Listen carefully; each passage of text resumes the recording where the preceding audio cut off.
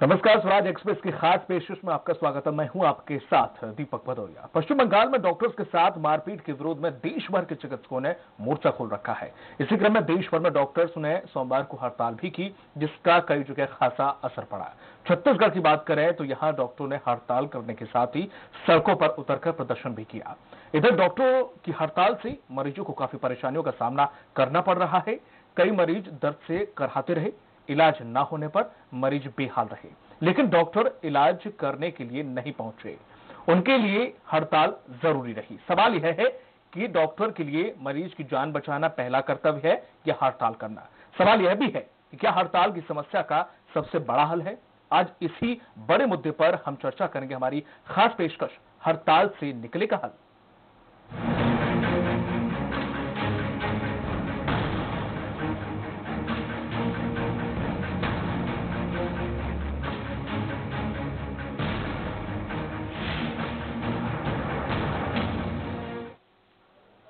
पश्चिम बंगाल में जूनियर डॉक्टरों के साथ हुई वारदात की सजा छत्तीसगढ़ में मरीजों को भुगतनी पड़ रही है। इलाज के लिए आए मरीज़ इधर से उधर भटकने को मजबूर है।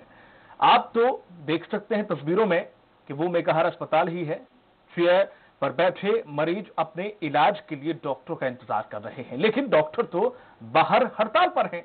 अब ऐसे में मरीज़ अपनी पीड़ा बताएँ तो बताएँ किसे? आखिर कौन उनका दुख दर्द सुनेगा? कौन उनका इलाज करेगा? इसी बीच स्वराज एक्सप्रेस की मौके पर पहुँची टीम ने और मरीजों से हमने जब उनका दर्द बांटने की कोशिश की, हमारी टीम ने जब अस्पताल में मौजूद मरीजों से बातचीत की तो उनकी आँखें भर आई। मरीजों ने बताया है कि वो घंटों से डॉक्टरों का इंतज़ार कर रहे हैं, लेकिन उनकी सुध लेने वाला कोई नहीं है। पश्चिम बंगाल के घटना को लेकर डॉक्टरों का हड़ताल जारी है।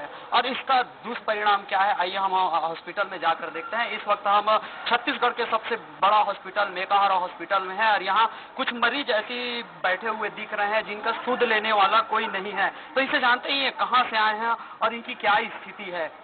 कहाँ से आए हैं आप? मैं दूसरे से आया हूँ क्या इलाज करा रहे हैं? मेरे पैर फ्रैक्चर हुआ था छोटा सा एक चोट है।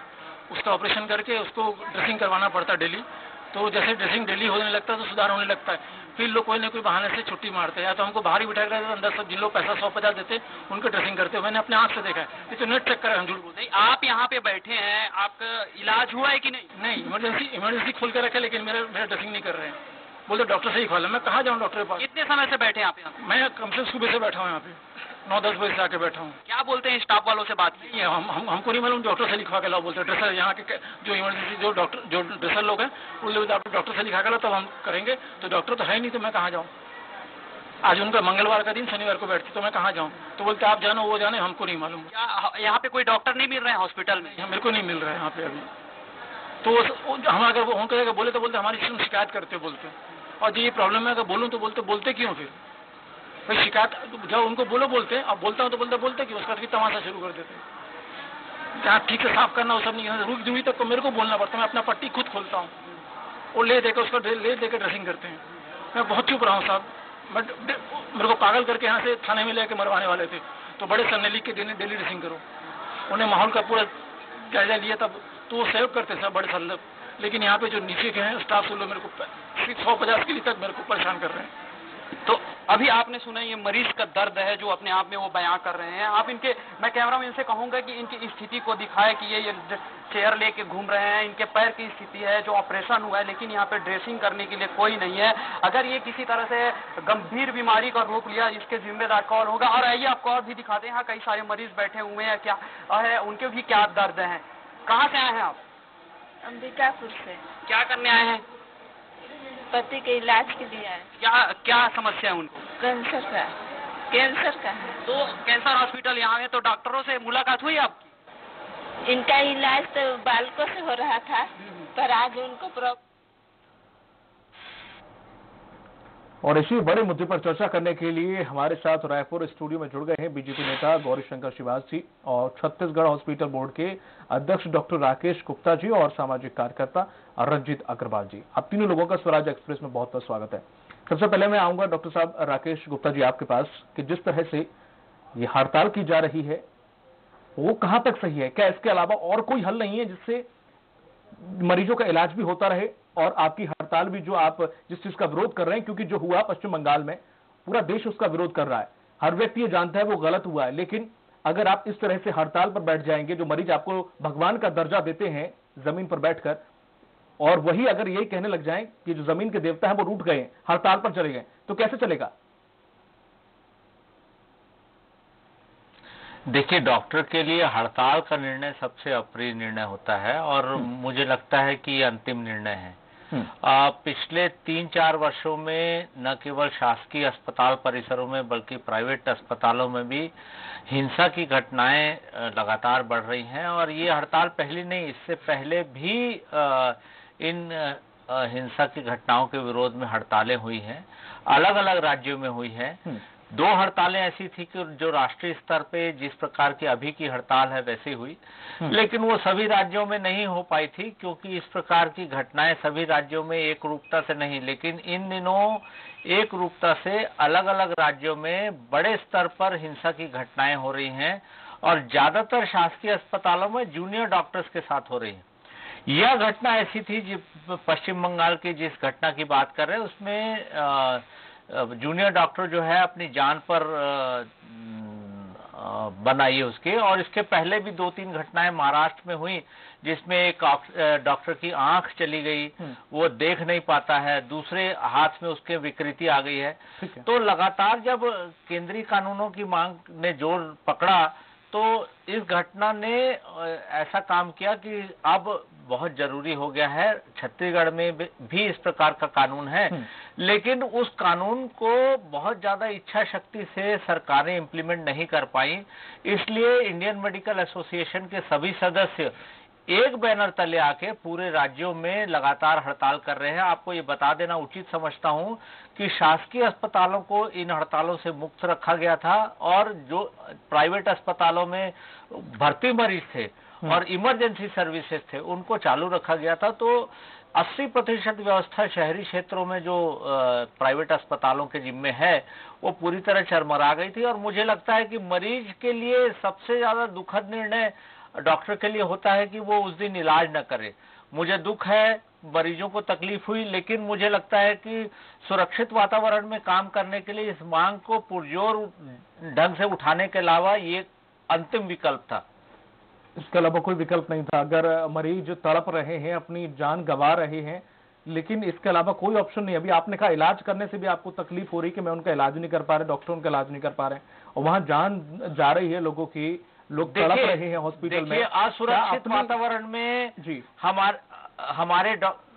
देखिए असुरक्षित वातावरण में मार खा के कोई डॉक्टर बहुत अच्छे से मनोयोग से सुरक्षित वातावरण में काम नहीं कर सकता है हम्म। बहुत हालाँकि मेरा वक्तव्य आपको विरोधाभासी लग रहा है कि हम्म। लेकिन ये मजबूरी है।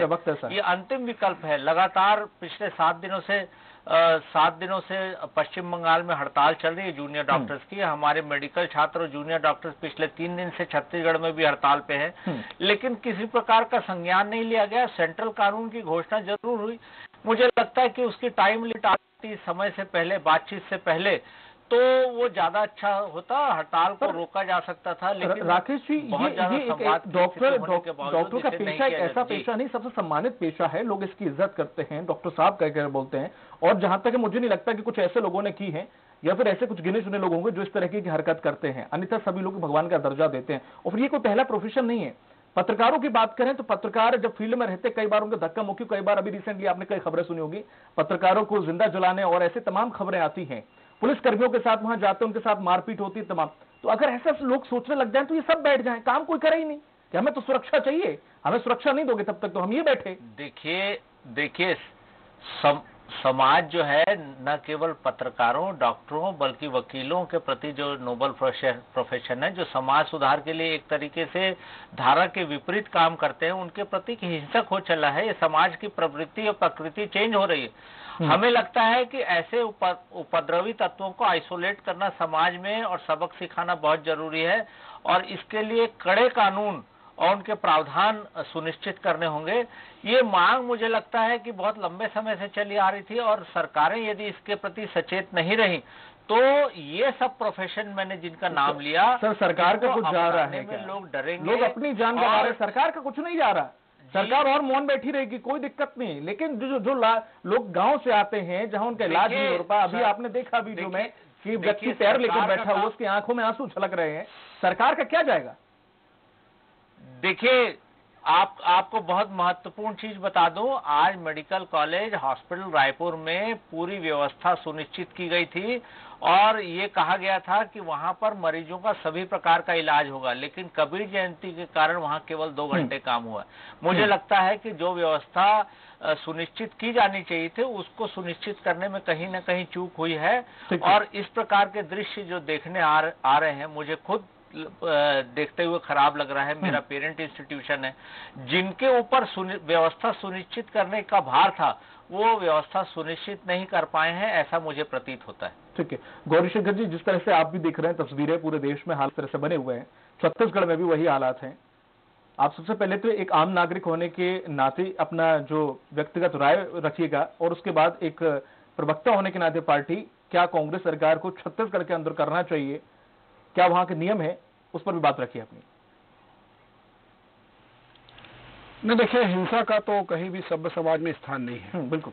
लेकिन हिंसा क्यों होती है इस बात को भी समझने की ज़रूरत है। कभी कई बार डॉक्टर की भी लापरवाही होती है कई बार मरीज़ के परिजन बिल्कुल। भा- भावावेश में आकर इस प्रकार की हिंसा को अंजाम देते हैं। लेकिन अगर हिंसा होती है और किसी नाम से अगर विरोधाभास होता है अगर विरोध करना है तो उसके बहुत सारे तरीके होते हैं। एकमात्र हड़ताल करना कोई एकमात्र तरीका समाधान नहीं होता। बंगाल में जिस प्रकार की घटनाक्रम हुई किसी छुपा नहीं है। छत्तीसगढ़ में अगर ये हो रहा है अगर आज कई लोगों की मौतें भी हुई है तो इसका जिम्मेदार कौन है? क्या कोई डॉक्टर की ज़िम्मेदारी लेगा? आप विरोध धरना प्रदर्शन कीजिए निश्चित तौर पर संविधान में लिखा हुआ है। लेकिन उसका भी तरीका होता है वैकल्पिक व्यवस्था उसकी भी की जाती है वो की जा सकती थी। जो मुझे ऐसा लगता है कि प्रदेश के डॉक्टर कहीं ना कहीं उस चीज़ को नहीं अडॉप्ट किए हैं जिसका खामियाजा आज प्रदेश के बहुत सारे मरीजों को उठाना पड़ा है। आज मरीज़ जो हलाकान उसके बारे में कहीं ना कहीं सोच जाने की ज़रूरत थी। विरोधाभास कीजिए आपका अधिकार है। लेकिन विरोधाभास में किसी के जान के साथ में खिलवाड़ ना हो यह बात भी सुनिश्चित करना आप सभी डॉक्टर का काम होता है। दूसरी बात सबसे महत्वपूर्ण पूरे प्रदेश में रोम जल रहा है नीरो बंसी बजा रहा वाली हालात है।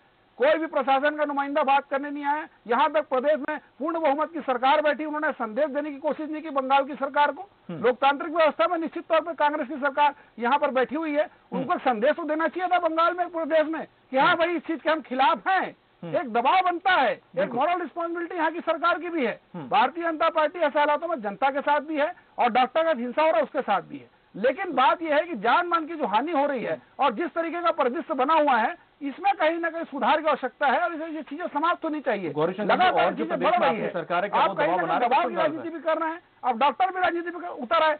पुलिस वाले भी पिछले साल यहाँ पे इसी तरीके का धरना प्रदर्शन कर रहे थे। आपने जिस बात को कहा उससे पूरी तरह सहमत हूँ। मगर हर व्यक्ति अपनी ज़िम्मेदारी छोड़कर इसी तरह धरने में बैठेगा तो समाज का क्या होगा देश का क्या होगा प्रदेश का क्या होगा? तो ये खाली कहने से कि हिंसा प्रवृत्ति बढ़ रही है तो हम धरना प्रदर्शन कर रहे हैं। ये आपकी ज़िम्मेदारी को नहीं दर्शाता।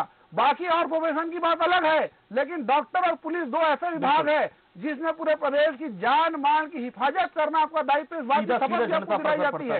अगर हिंसा कहीं हो गया है तो उसका एकमात्र कारण ये नहीं होता एकमात्र विकल्प ये नहीं होता कि सारी चीज़ों को छोड़कर हम धरना प्रदर्शन करें और मरीज़ मरता रहे तड़पता रहे। ये कहीं ना कहीं मानवता के भी खिलाफ है जिसकी हम निंदा करते हैं। बिल्कुल सही कहा वही बात करते हैं रंजित जी जिस तरह से ये पहला मामला नहीं है बिल्कुल हमले होते रहे हैं डॉक्टर्स पे आए दिन सुनने को मिलता रहता है। और ये भी पहला भी मामला, ये भी नहीं कि डॉक्टरों की लापरवाही नहीं मिलती है। अक्सर डॉक्टरों की लापरवाही भी मिलती है। कहीं डॉक्टर जिस तरह से नर्स हैं, जो नई नर्स है, या फिर जो भी ट्रेनिंग पे है, वो इलाज कर रहे हैं, कई तमाम तरीके के ऐसे दृश्य कि घाव खुला छोड़ दिया, या टाँके खुले छोड़ दिए, कभी कैंची भूल गए, ऐसे तमाम सारे कभी जिस पैर का ऑपरेशन करना था, उस पैर का नहीं, दूसरे पैर का कर दिया। इस तरीके की तमाम अनियमितताएँ सामने निकल कर आती हैं। उसके बावजूद भी अगर देखा जाए, बिल्कुल अगर, जैसे कि गौरव शंकर जी ने कहा कि हिंसा के लिए अहिंसा के लिए कोई जगह नहीं हिंसा के लिए भी कोई जगह नहीं। जिस तरह से अहिंसा का रास्ता लोगों को अपनाना चाहिए, हिंसा से कोई हल निकलने वाला नहीं है। तो लोग जिस तरह से हिंसक हो रहे हैं डॉक्टर्स के ऊपर तो उसकी तरह से ये बिल्कुल सही है कि डॉक्टर्स की सुरक्षा की मांग होनी चाहिए। लेकिन क्या हाल सिर्फ़ हड़ताल है? जब ऐसे समय में, जब अभी कहा गुप्ता जी ने कि हमें बड़ी तकलीफ़ हो रही है, लोग तड़प रहे हैं और लोगों को इलाज नहीं मिल पा रहा है। उनका कहना है कि सीनियर डॉक्टर्स इलाज कर रहे हैं, जूड़ा के लोग हड़ताल पर हैं। लेकिन अभी देख रहे हैं तो सभी हड़ताल पर हैं। जो कोई भी मिल रहा है सब हड़ताल पर सीनियर हो चाहे जूनियर हो चाहे वो सरकारी अस्पताल हो चाहे वो प्राइवेट हो सबका आलम यही है।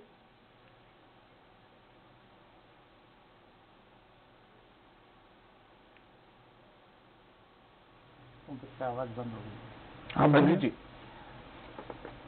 सबसे पहले तो मैं ये कहूँगा आज की जो घटना है हड़ताल की जो पूरे भारतवर्ष में डॉक्टरों की जो हड़ताल कर रहे हैं बहुत दुखद घटना है। और इससे मरीजों को भी नुकसान हो रहा है। हमने मतलब कुछ मुद्दों पे अपने को जाना पड़ेगा। राजनीतिकरण ना हो इस विषय पे मैं तो यही कहूँगा चाहे किसी की भी सरकार हो ये हड़ताल क्यों होती है? डॉक्टरों को हड़ताल करने की नौबत क्यों आती है? सरकार को सोचना की आवश्यकता है। जब पिछली सरकार के रहते हुए भी हड़ताल हुई थी तो इस सरकार को अपने विशेषकर ध्यान देने की आवश्यकता है। डॉक्टर हड़ताल पे क्यों जाते हैं? क्यों ऐसी नौबत है? क्या ऐसा कानून नहीं बना सकते? बना सकते हैं। सरकार चाहे तो। क्यों डॉक्टरों पर होती है ऐसी मारपीट दुर्घटना ऐसी नहीं होनी चाहिए। डॉक्टरों की ज़िम्मेदारी बनती है बट डॉक्टर कितनी ज़िम्मेदारी मार हर दिन मार खाते रहेंगे और इलाज करते रहेंगे उनकी भी कुछ ज़िम्मेदारी बनती है उनकी भी कुछ ड्यूटी बनती है। वो जितनी करते हैं डॉक्टरों की मैं तो वो समर्थन में हूँ मैं तो समर्थन करूँगा डॉक्टरों की। मैं छत्तीसगढ़ शासन में मतलब अंबेडकर हॉस्पिटल डॉक्टरों में बीस डॉक्टरों का। समर्थन कर रहे हैं सर या फिर हड़ताल का समर्थन कर रहे हैं? अपनी सेवा देने के लिए तत्पर रहते हैं। नहीं हड़ताल करिए डॉक्टरों की जो मांगे है इस मांग को हड़ताल को मैं समर्थन नहीं करता हूँ मांगे। उनकी मांगे जो जायज़ है, सरकार को इस पर अविलंब कार्रवाई करनी चाहिए। मैं हड़ताल का समर्थन नहीं करता हूँ। इनकी जो मांगे है, सरकार को इस पर तुरंत कार्रवाई करनी चाहिए और सख्त सख्त कानून बनना चाहिए। आज डॉक्टरों की मैं 20 साल से देख रहा हूँ, डॉक्टरों की जो सेवाएँ होती है, आज जब भी कोई दुर्घटना होती है तो डॉक्टर ही अपनी सबसे पहले अपनी सेवा प्रदान करते हैं। हम उस डॉक्टरों की नजरअंदाज कर देते हैं, जबकि डॉक्टर अपनी जी जान लगाए 24 घंटा सेवा प्रदान करते हैं। उनमें सिर्फ़ सेवा हर चीज़ की एडमिनिस्ट्रेशन दबाव रहता है, सरकारी दबाव रहते हैं, हर चीज़ का दबाव रहने के बावजूद भी अपनी सेवा प्रदान करते हैं। क्यों करते हैं? उनकी भी मानवता है। भगवान का रूप का दर्जा हम नहीं देते तो वो भी एक मानव है। उनसे गलती हो सकती है। इसके मतलब सभी डॉक्टर लापरवाही बरत देते हैं। मैं इस चीज़ का विरोध करूँगा। सभी डॉक्टर लापरवाही नहीं करते। इंसान ही वो भी इंसान है। गलती हो सकती है। बिल्कुल तो बिल्कुल कहा मतलब? मार खा के काम सभी डॉक्टर लापरवाही करते हैं तो किसी ने नहीं कहा? तो ये नहीं अभी गौरी शंकर जी ने कहा कि मतलब ये गलत है। गलती होती गलती गलती इंसान होती से है, होती लेकिन उन्होंने सभी का नाम नहीं लिया। गलती हो गई तो सभी सभी डॉक्टर गलती नहीं करते हैं। मैं तो देखता हूँ सरकार को मैं तो विशेषकर सरकार से चाहे छत्तीसगढ़ शासन की हो चाहे भारत सरकार हो मैं तो यही कहूँगा इस पे सख्त कानून लागू करना चाहिए लाके और सभी राज्यों के मुख्यमंत्रियों को और भारत सरकार प्रधानमंत्री से मिल बैठ के इस पर अविलंब इसका हल निकालने की आवश्यकता है। तो इससे हल निकालेंगे तभी आगे काम बढ़ सकता है नहीं तो ऐसी निरंतर हड़ताल होती रहेगी और सरकार कानों में रुई डाल के बैठी रहेगी। गौरीशंकर जी जी। देखिए असल में इसके दो रूप है। एक तो हिंसा से कोई समस्या का समाधान नहीं निकलता दूसरा हड़ताल से भी कोई समस्या का समाधान नहीं निकलता। ये दोनों बातें हैं। कहीं ना कहीं डॉक्टरों ने भी कुछ डॉक्टरों ने भी जनता का विश्वास खोया है।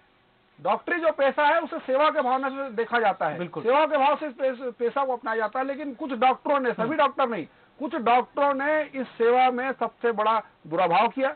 जनता के सीधा सीधा जेब में डाका डाला जनता का विश्वास खोया है। आज कहीं ना कहीं जनता और डॉक्टर के बीच में विश्वास की कमी साफ़ नज़र आती है। अगर कोई डॉक्टर अच्छे से इलाज करे उसे भी शक की निगाह से देखा जाता है। तो देखिए इसमें सारी चीज़ों को समझने की ज़रूरत है। सभी लोग कहीं ना कहीं जिम्मेदार है इसमें। अकेला कोई डॉक्टर जिम्मेदार नहीं ना जनता भी जिम्मेदार नहीं है। जिन लोगों ने डॉक्टरी पैसा के नाम पर बड़ी बड़ी दुकानदारी अपनी चलाई है आज भी देखेंगे प्रदेश में से बहुत से डॉक्टर हैं जो लूट खसोट में भी लिप्त हैं। तो कहीं जनता सारी चीज़ों को समझ रही है।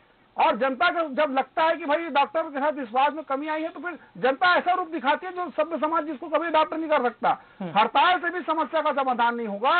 इस बात को बहुत गहन चिंतन करना होगा। कितना भी अधिनियम बना लीजिए कितना भी बड़ा बड़ा कानून बना लीजिए ये चीज़ें अनवरत जारी रहेगी। इस पर जब तक गहन चिंतन नहीं होगा डॉक्टरों को भी अपने व्यवहार में सुधार लाना होगा और जनता के प्रति इसकी ज़िम्मेदारी बननी सुनिश्चित होनी चाहिए। तो जनता के बीच में जब जब अविश्वास की भावना आएगी जनता कहीं ना कहीं ऐसे कदम उठाएगी और सरकार को जो बीच में पहल करना चाहिए वैकल्पिक व्यवस्था करनी चाहिए। जब इस प्रकार का परिदृश्य होता है तो सरकार ने वैकल्पिक व्यवस्था को कोई भी यहाँ पे आयाम पर प्रस्तुत नहीं किया है। आज देखेंगे जिस प्रकार आपके टेलीविज़न स्क्रीन में मैं देख रहा हूँ लोग भटक रहे हैं बुज़ुर्ग भटक रहे हैं कोई वैकल्पिक व्यवस्था नहीं भगवान भरोसे प्रदेश को छोड़ दिया गया है। तो ये कहीं ना कहीं सरकार का भी नकारापन को प्रदर्शित करता है।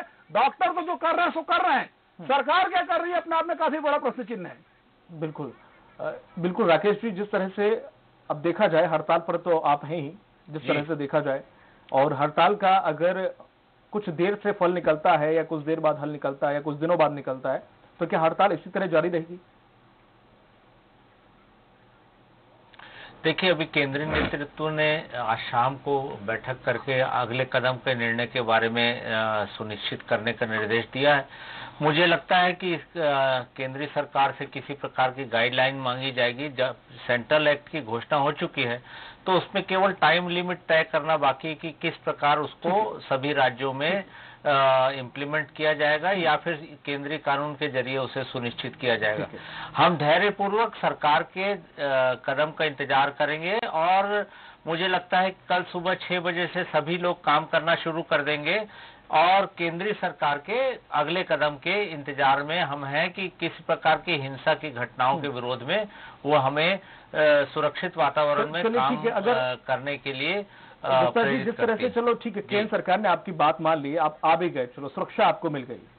अब आपको डर नहीं रहा कि चलो अब कुछ होगा। लेकिन जिस तरह से वीडियो वायरल होते हैं जिस तरह से खबरें आती हैं कि मरीज़ के परिजनों को जूनियर डॉक्टरों ने पीटा कई वीडियो ऐसे वायरल हो रहे हैं कि वो मरीज़ पर ही डॉक्टर चढ़ गया इस तरीके से और उन्हें पीट रहा है। इस तरीके के जो तमाम वाक्य निकल कर आते हैं उनके लिए फिर क्या मरीज़ भी हड़ताल पर चले जाएँ कि भाई हमें भी केंद्र से डॉक्टरों से सुरक्षा चाहिए डॉक्टर भी हमारे साथ ऐसा व्यवहार देखिए आप आप आप आप आप एक आप एक तरफ़ की बात कर रहे हैं मैं आपको वीडियो वायरल जो आप बात कर रहे हैं मैं डॉक्टरों के भेजूँगा तो आपको रोना आ जाएगा।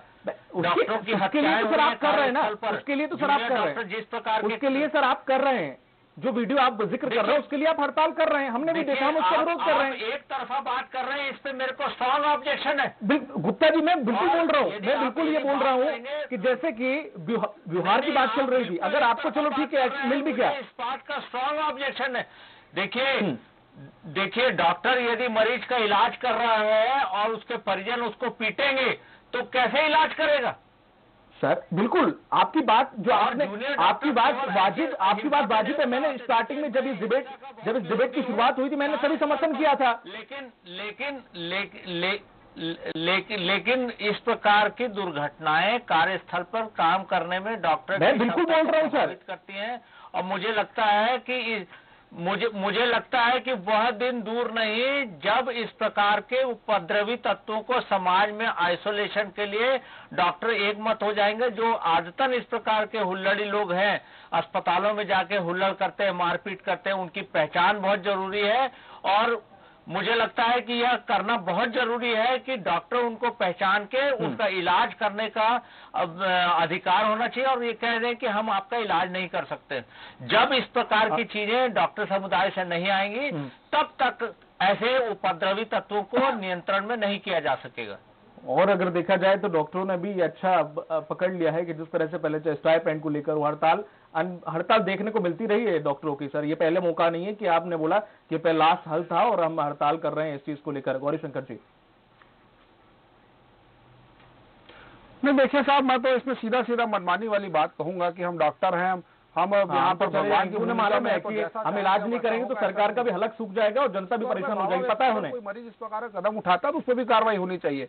लेकिन हम्म। डॉक्टर भी अगर इस प्रकार की चीज़ें कर रहे हैं तो डॉक्टर पर भी कार्रवाई सुनिश्चित उसमें फिर ऐसा नहीं किया बिल्कुल बिल्कुल वही कहना था जिसको गुप्ता जी भड़क हाल में चले गए अपनी बात मनवाएँगे मरीज़ जाए भाड़ में मरीज़ को मरने दो उसके हाल में तड़पने दो हमारी मांगे पूरी होनी चाहिए। ये एक तरफा बात अब यहाँ पे डॉक्टर साहब कर रहे हैं। आप हर चीज़ में जायज़ नहीं हो सकते आपकी हर बात भी जायज़ नहीं हो सकती है। कुछ डॉक्टर भी गलत है तो जनता भी गलत है। दोनों चीज़ों को समाहित करके देखने की आवश्यकता है। जो आप प्रश्न चिन्ह उठा रहे हैं कि आप एक तरफा बात कर रहे हैं, कोई भी घटना एक तरफ़ से नहीं होती साहब। ताली एक हाथ से नहीं बचती है। कहीं ना कहीं डॉक्टरों ने भी जो बार बार जिस बात को मैं कह रहा हूँ कि डॉक्टरों ने भी विश्वास खोया है लाखों रुपए देने के बाद भी आप सही तरीके से चिकित्सा मुहैया नहीं करा पाते हैं तो मरीज़ क्या करेगा? मरीज़ के कोई किसी प्रकार की हमारी ज़िम्मेदारी नहीं है ये कैसा व्यवहार है? आप देखेंगे पूरे देश में डॉक्टरों का व्यवहार ही बदला है मरीजों के प्रति। गरज वाली बात आ जाती है। कि हमको आपको तो हमारे पास आना पड़ेगा। हम इलाज करने वाले हैं। तो हम्म। मनमानी में भी हमको लगना चाहिए। ऐसा नहीं है कि सारी चीज़ें एक तरफ़ होनी चाहिए। और इसमें कहीं ना कहीं Indian Medical Council of India पूरी तरह फेलियर साबित होता है।